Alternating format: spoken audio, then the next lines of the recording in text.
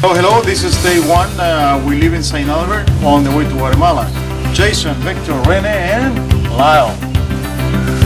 See ya.